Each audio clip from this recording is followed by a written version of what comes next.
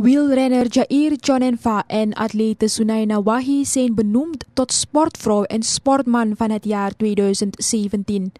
Het jaarlijks evenement werd georganiseerd door de Vereniging van Sportjournalisten in Suriname in het gebouw van het Surinaams Olympisch Comité SOC. Volgens de moeder van Sunaina Wahi, Farsia Abdulak, staan de ouders van Surinaamse topsporters voor heel veel uitdagingen. Ze is ongeveer op de 13-jarige leeftijd met atletiek begonnen.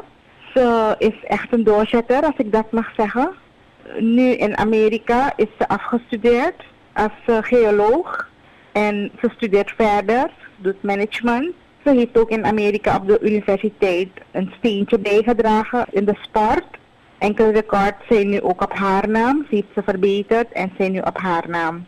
Allereerst zou ik zeggen dat het niet elke ouder gegund is om dit mee te maken. Het is geweldig voor mij, omdat ik weet dat Sunena heel hard haar best heeft gedaan om te bereiken wat ze nu heeft gehad.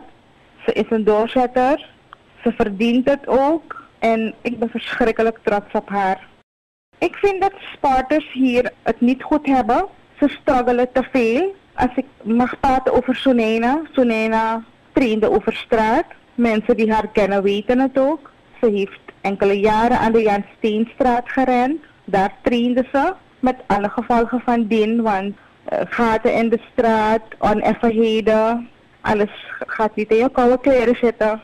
Ze voelde het. Suriname heeft niks. Sparters hebben niks en ze krijgen bijna niks.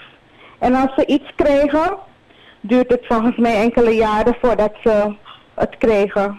Ze kunnen niet erop rekenen, ze kunnen niet erop bouwen van hé, ik krijg maandelijks wat. Ik ga u nogmaals zeggen, en ik denk dat alle sporters het met me eens zullen zijn.